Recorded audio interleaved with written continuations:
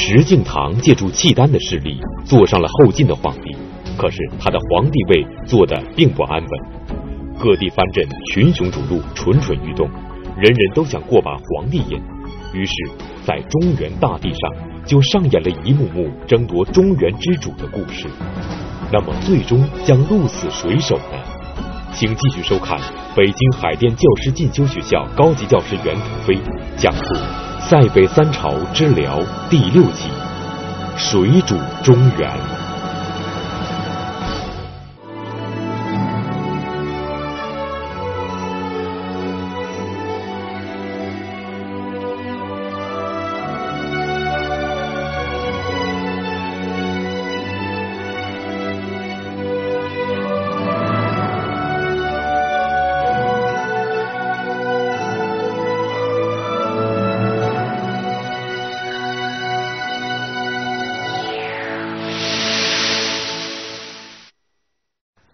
上一讲啊，咱们讲说这个后唐的节度使石敬瑭做了后晋皇帝之后啊，他这个皇帝也做的不安稳啊，面临着内忧外患啊。内忧上一讲我们讲了，这外患从哪儿来？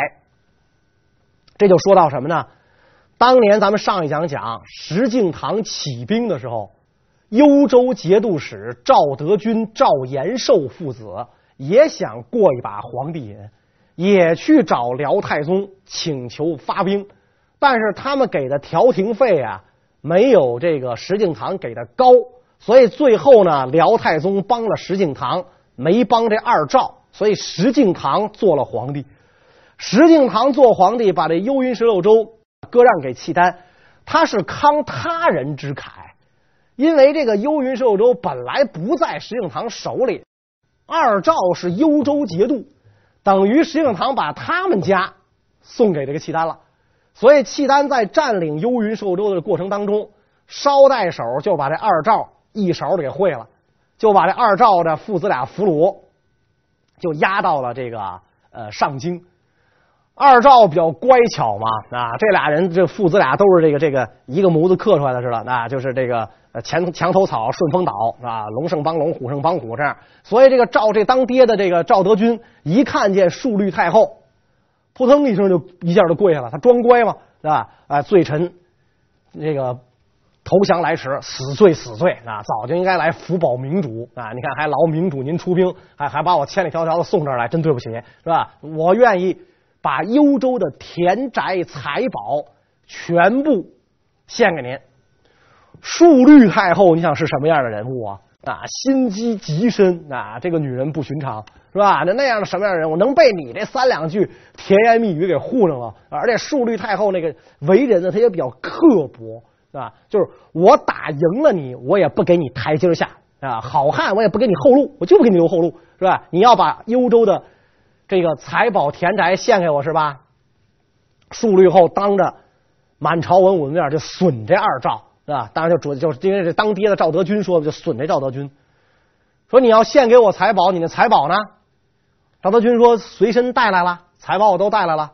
树立后冷冷一笑，那财宝是你带来的，那是我们大契丹缴获的，对吧？那是战利品，连你都是俘虏，你有什么私有财产？那都是那都是我们缴获的东西，是吧？说行，财宝算算算，反正你拿来了，我看见了。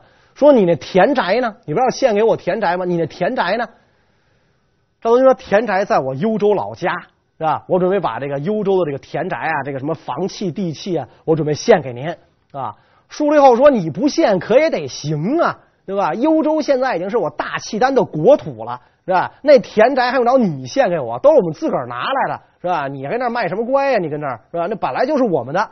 这一下，这个赵德军羞愧的是无地自容。”是吧？拍马屁拍马蹄上了，所以淑律太后当着满朝文武的面给赵德军这么大的一个难堪。这赵德军被俘了之后，一年就死了啊，就就很郁闷嘛，就死了。这个人死了之后啊，就埋葬在了这个呃幽州啊，就当时后幽州后来就变成了辽的南京嘛，啊，南京西津府啊，就埋埋葬了这个地方。他的坟墓在一九五六年。被发现，位于这个永定门外啊，被发现堂皇富丽，墓室的面积啊达到了一百四十四平方米啊，然后这个墙上都有壁画，那随葬品也很丰富。要说赵德军一介囚虏啊，你就是被俘了嘛，你也不是幽州节度了嘛，是吧？然后你哪来的那么大的财力兴建这么豪华的墓穴？谁给你建的？哎，特别有意思一件事儿，赵德军虽然不招太后待见，被太后给损了一顿，给损死了，是吧？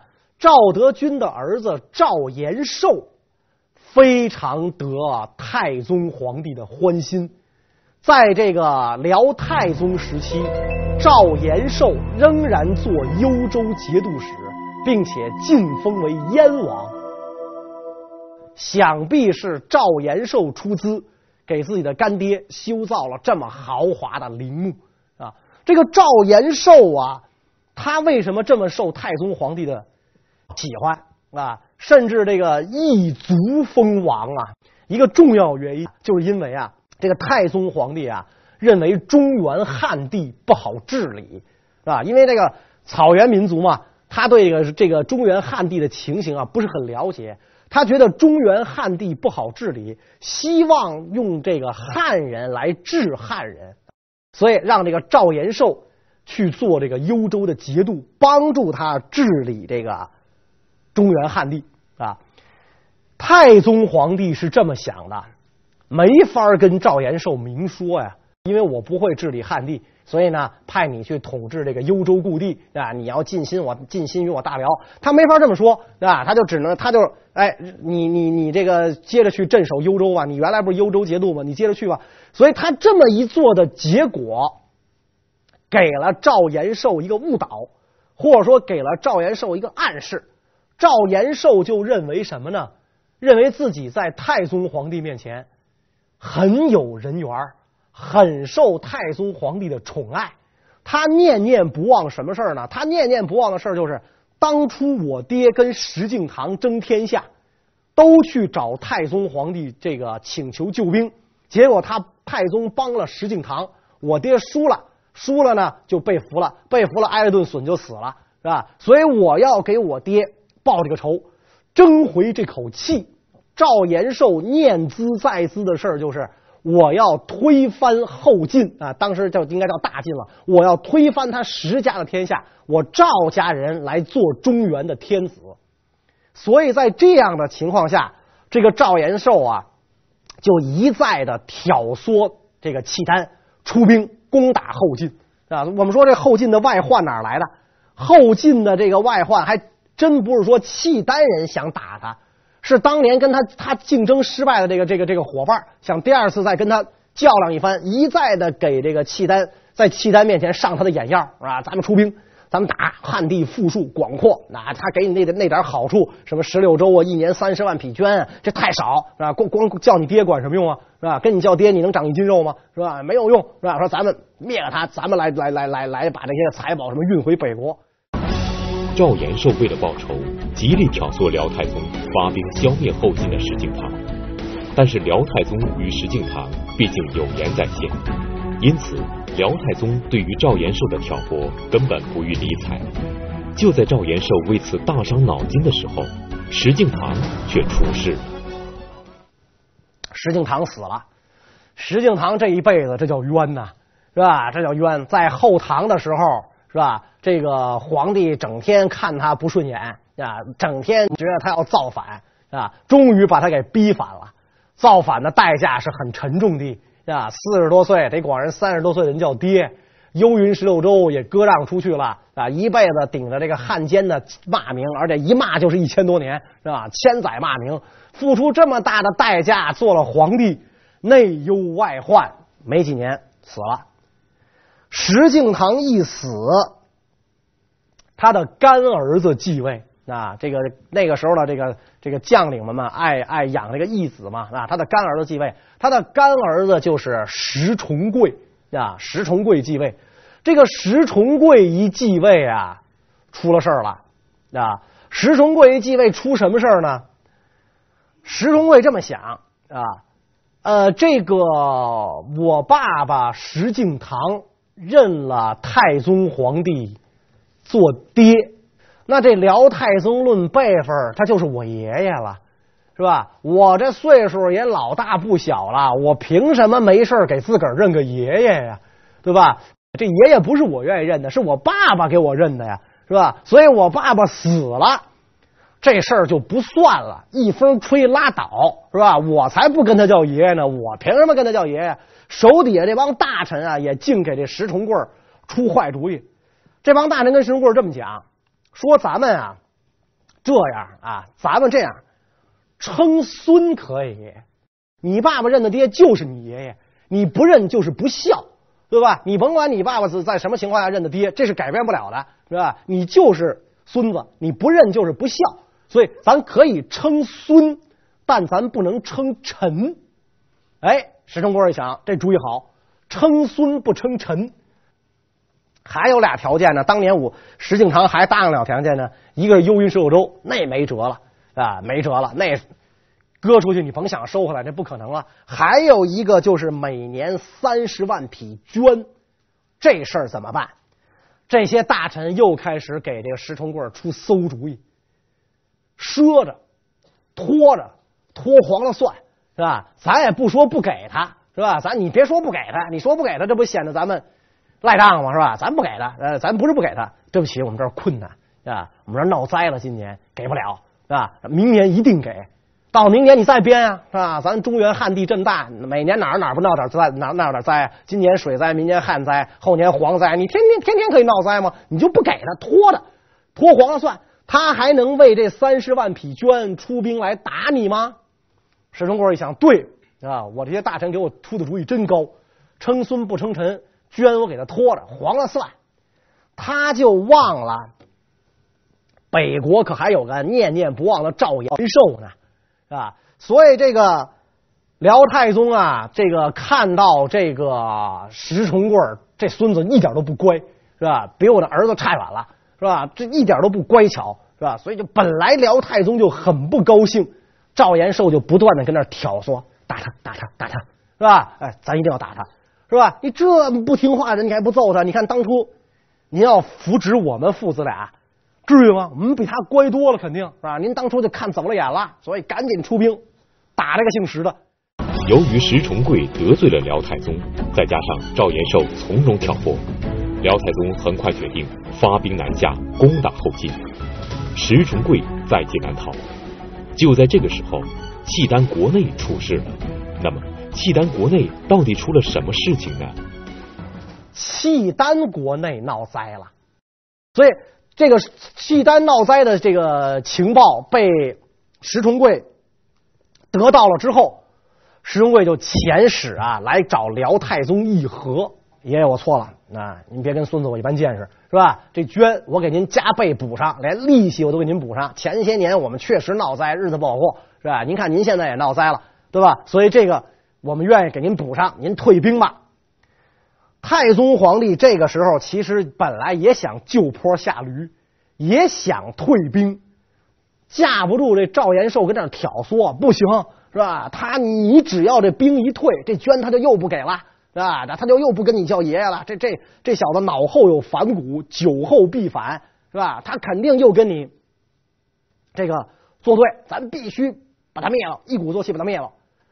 太宗皇帝在这个沉吟之间的时候，数律后发话了。啊，这次数律后跟着来啊，数律后发话了。数律后就问这个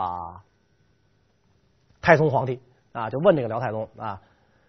你为什么一定要发兵攻打中原呢？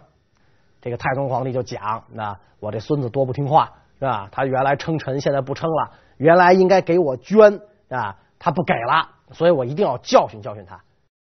书立后说：那他这不是已经得到教训了吗？他这里不是已经认错了吗？这该给咱的捐不是已经给了吗？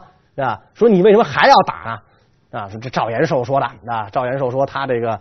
脑后反骨啊，酒后必反啊，所以我要不教训教训他的话，咱们一退兵还会这样。数律后一听这姓赵的，这气儿都不打一处来，是吧？赵延寿的话你也听，是吧？你打下中原的目的是干什么？啊，你打中原的目的是干什么？你要做中原之主吗？太宗皇帝说也未尝不可呀，我为什么不能做中原之主啊？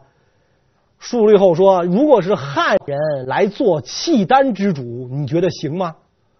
太宗皇帝说那当然不行啊，大辽皇帝的肯定是契丹人当啊，那不行。所以数律后说同同样的道理，你又何必一定要做中原之主呢？你也知道汉地难治是吧？你也知道中原人不好对付是吧？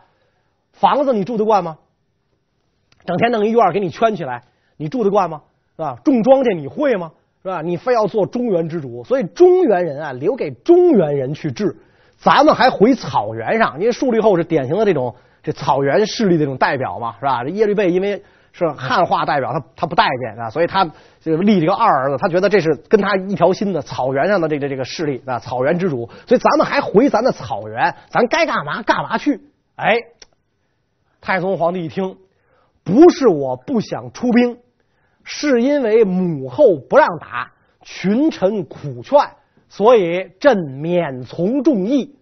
石重贵，算你小子命大，是吧？这一次我饶了你啊，我退兵了。该叫爷爷你叫，这个该该称臣你称，该把捐给我送来，给我送来。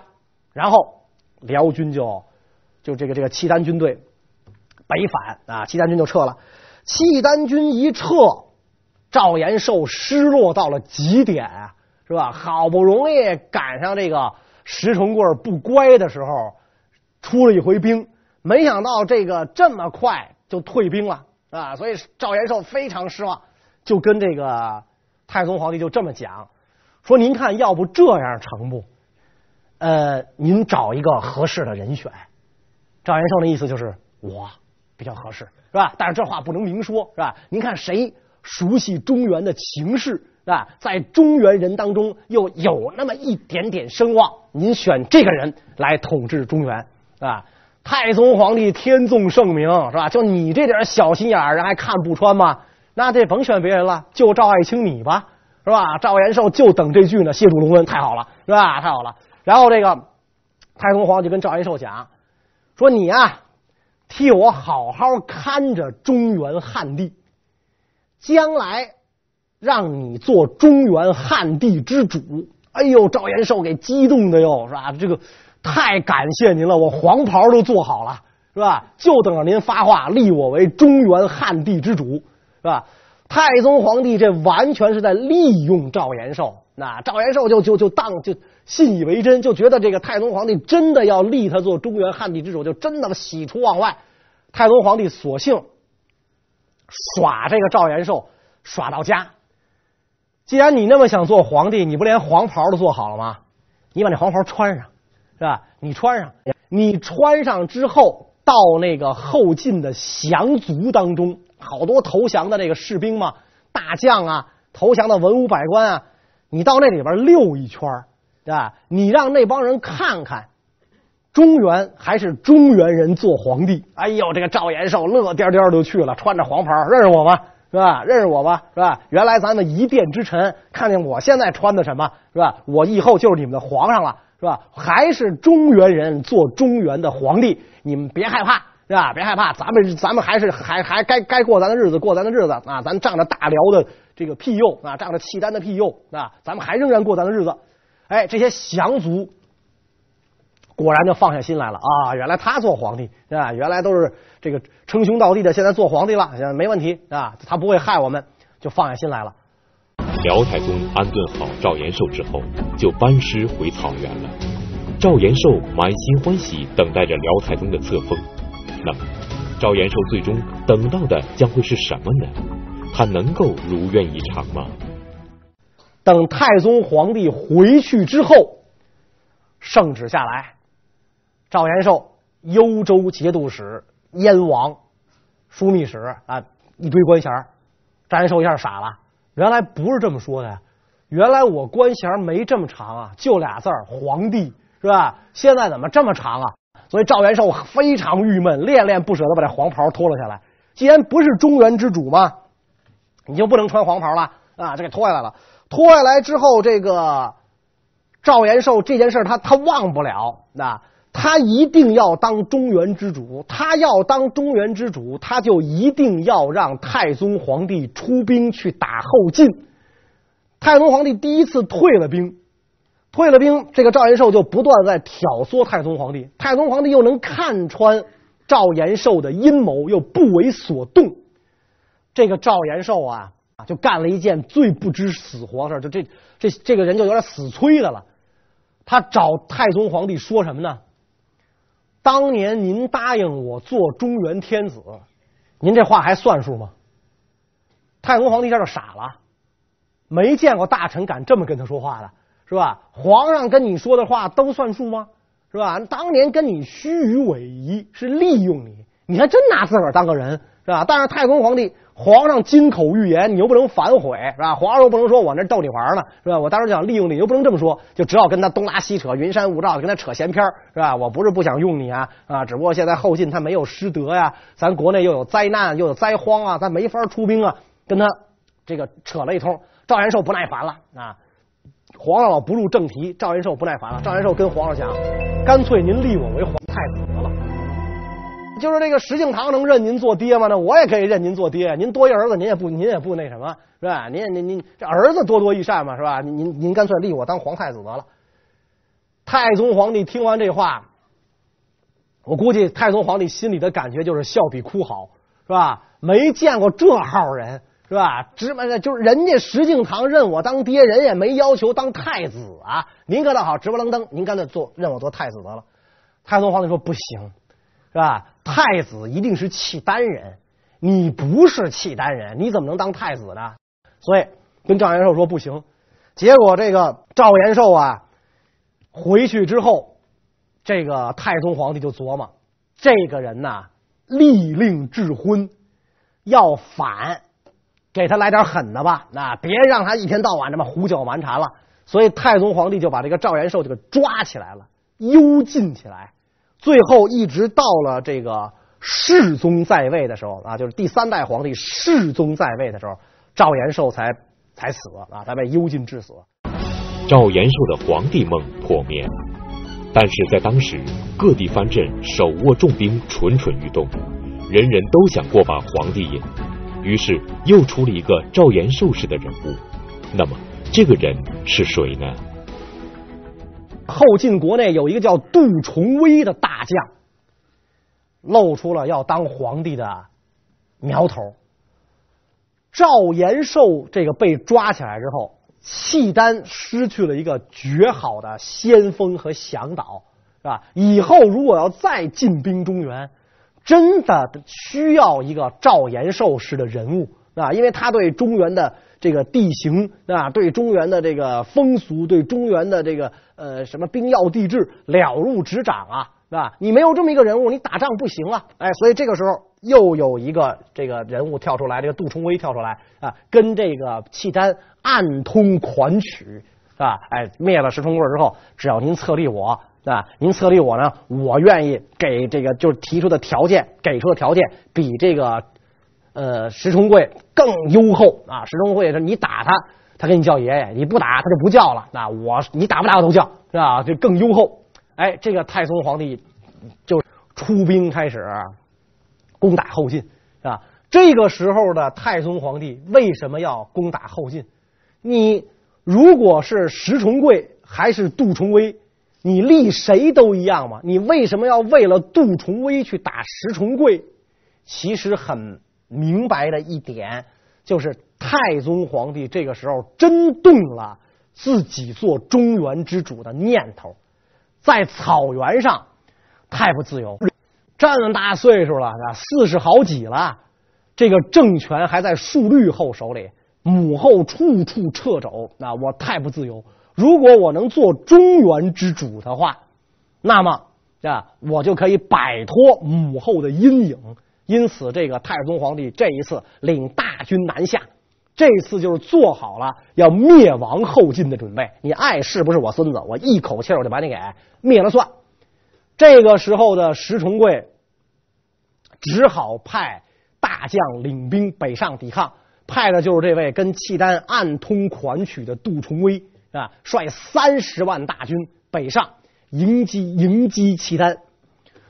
杜重威走一路啊，他故意的虐待士卒啊，然后就捡那个阴雨连绵的季天儿行军，是吧？然后满满地泥泞的时候行军，然后这个天气一好，啊，艳阳高照，路也干了，啊，咱住宿晒晒被子，是吧？然后克扣士卒的军粮，所以士卒每天都有逃亡的，啊，今天少一个连，明天少一个营，每天都有逃亡的。等到了前线驻扎下来之后，杜重威整日饮酒，啊，这个。不训练士卒，士兵逃亡他也不管。那有人来跟他报告，今天咱又少了多少部队，他不管。他这么做的目的是什么？我如果主动归降契丹，难免跟石敬瑭一样留下千古骂名。我不能这么干。我要怎么干呢？我把我的兵全逼跑了，最后我光杆司令一人，我怎么抵抗啊？我光杆司令我怎么抵抗啊？是吧？我想抵抗，我一个人打得过契丹十万大军吗？是吧？所以。他就整就跟那儿扎着营，契丹对他的情况是很了解的呀，暗通款曲嘛，很了解，所以契丹发兵，契丹发兵一打，杜重威马上投降，是吧？不是我不想抵抗，而是我无力抵抗，我的兵全跑了，是吧？我的兵全全跑了，确实也有可能朝廷的粮饷也给的不足，这确实有可能，是吧？所以我没法抵抗，皇帝不拆饥饿兵吗？率三十万大军就投降了，那当然这个这时候这个时候三十万。本来可能就是个虚数，这个时候就虚之又虚了。咱不知道还剩多少人，就投降。他一投降，太宗皇帝实践了自己的诺言。你们家黄袍做好了吗？是吧？你不是早就想当皇帝吗？那个当年那赵延寿做了黄袍，你做过吗？呃，杜重威说：“哎呦，也做过。那行，穿上是吧？穿上去到你这个降族当中，跟干跟赵延寿当年一一样的事儿，你去安慰一下你的降族，让你的这些降族啊别造反。”杜重威一听，迫不及待就把黄袍都穿好了。穿上之后，就到这个这个军营当中啊！现在你们保着我了啊！这些兵本来就是他带出来的吗？啊！一看他当皇帝了，非常高兴吗？啊！你赵延寿干这事儿，这才刚刚过去几年啊！杜重威又干这事儿，是吧？就这俩人就被这个辽太宗啊，就被这个耶耶律德光玩弄于股掌之上，是吧？要是说第一次被耍，还情有可原。前面你那老哥都被耍了一回了，是吧？你还干这事儿，是吧？这俩人如果见了面，互相谈一谈穿黄袍的感受，很有意思，对吧？哎，俩人聊聊当年你穿的时候什么心情？哎呦，我也是这心情，是吧？没想到都被这个耶律德光给耍了，所以这个杜重威三十万大军解甲，石重贵就没法抵抗了。精锐部队全没了？全带出去了。所以契丹大军一南下，石重贵束手就擒，开封城就被攻破了。那契丹军就攻进了这个开封。这个时候，杜重威就来找这个耶律德光啊，找这个太宗啊啊！你看，您该履行诺言了吧？是吧？我这三十万人都没抵抗，就开城投降了，是吧？黄袍我也穿上了，啊，然后您也让我显摆了一圈了。得兑现这个诺言了吧？太宗皇帝冷冷一笑啊！我打算治自己治理中原啊！朕做得草原之主，便做得中原之主。把他这黄袍剥下来啊，给扒下来，扒下来之后，该给他送哪去送哪去，是吧？所以这杜重威跟这个赵延寿最后弄了个一个下场啊，就既吃不记打吧，啊，弄弄了个一个下场。所以这个辽。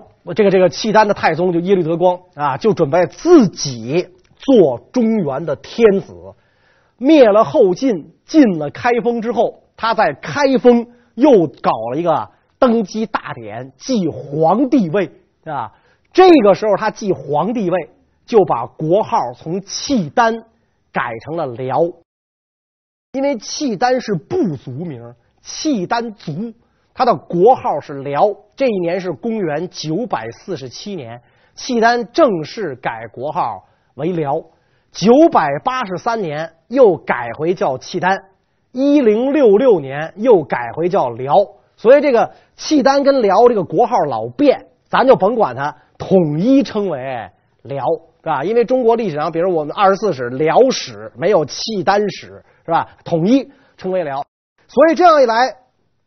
这个呃，辽太宗耶律德光做了中原之主。辽太宗做了中原之主之后，他并没有杀死后晋的皇帝石重贵。那么他会怎样处置石重贵？石重贵最后的下场又是怎样的呢？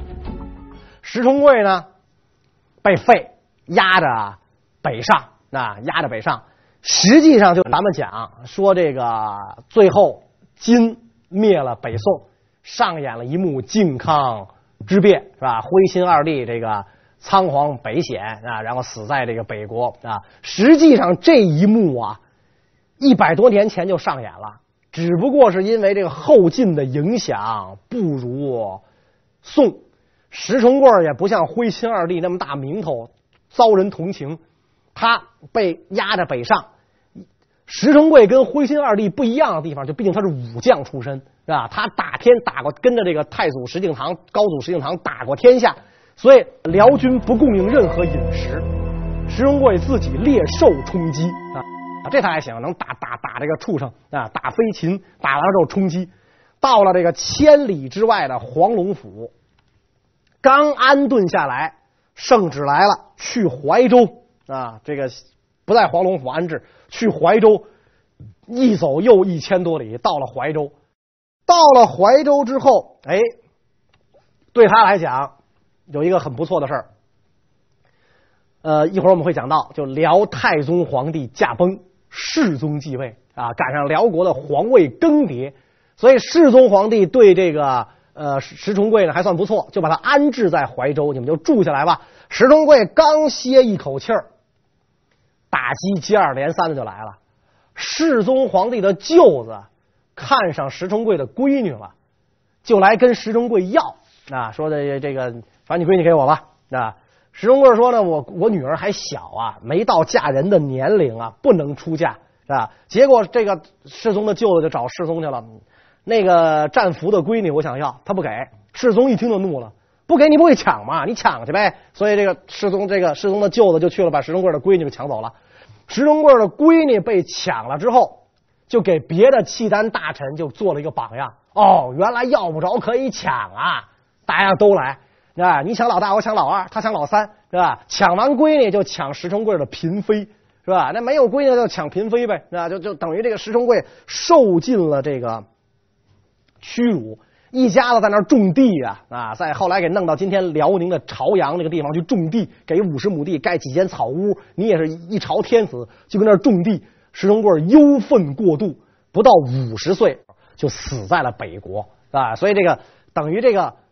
后晋这个这个这个王朝啊，两个皇帝都很惨啊，甭管是给契丹当儿子还是当孙子，当然当孙子更惨，是吧？等于这个辽太宗皇帝把中原的这帮君臣玩的滴溜溜转，然后他自己当皇帝。他一当了皇帝之后，做了中原之之主之后，这个辽太宗就发现这个地方不好，实在不适合我待。为什么不好呢？第一个不好就是太热了，是吧？受不了这地方太热啊。另外一个呢，就是什么呢？这个中原人民太不友好，他老起来袭击我们契丹军队，是吧？我们契丹军队是没有后勤供应的呀，我们没有这个军粮供应，我们契丹军南下就靠打谷草，就抢嘛，没吃的我就抢。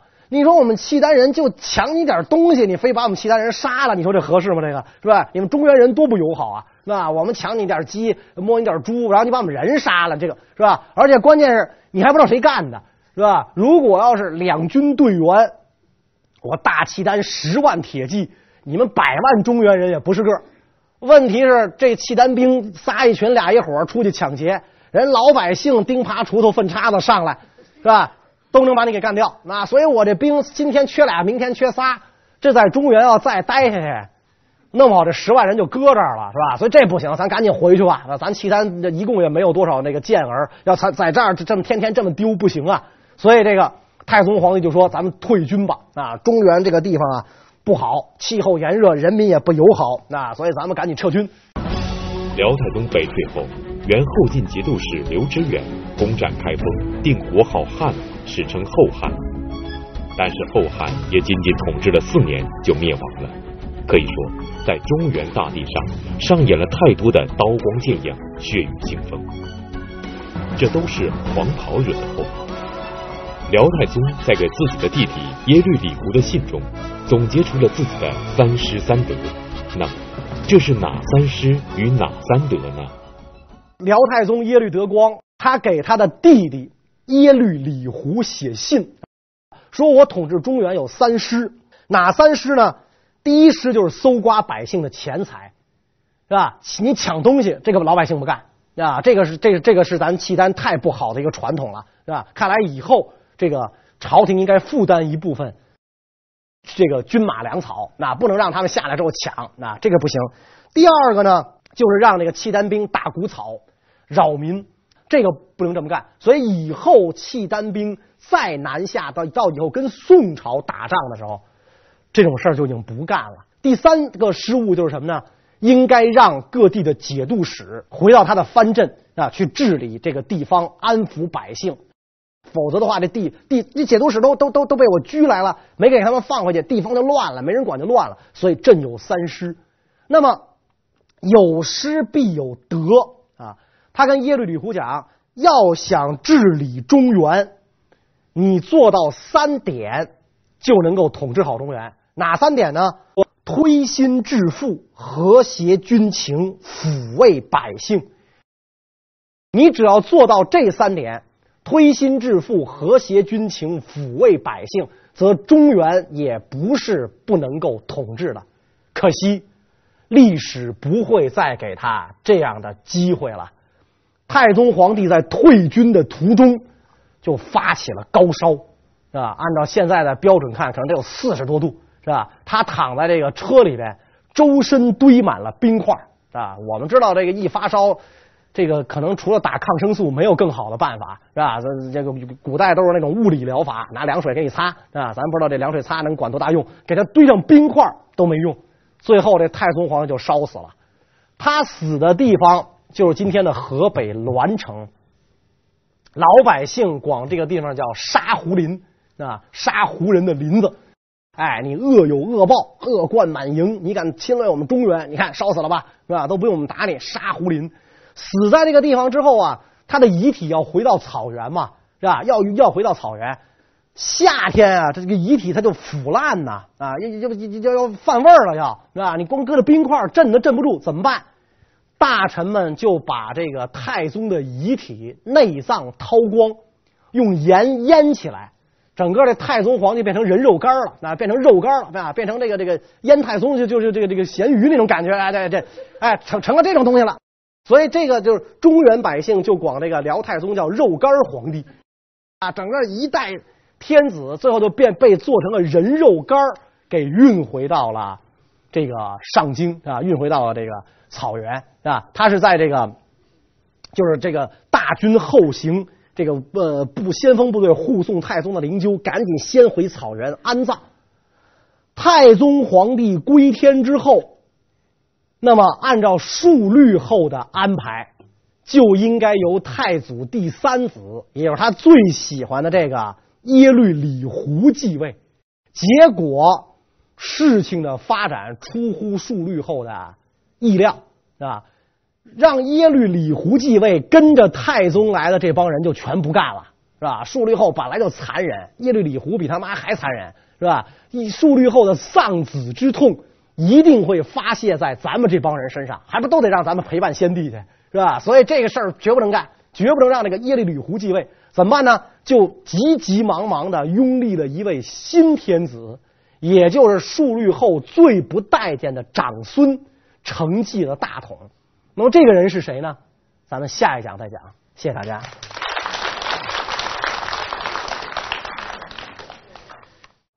辽太宗耶律德光突然病逝者，数律太后原本打算让小儿子耶律李胡继承皇位。但是他没有想到，自己的孙子耶律阮竟然抢先在河北宣布即位，史称辽世宗。于是，数律太后亲率大军在黄河边准备和辽世宗决一死战。那么，辽世宗究竟是怎样登上皇位的呢？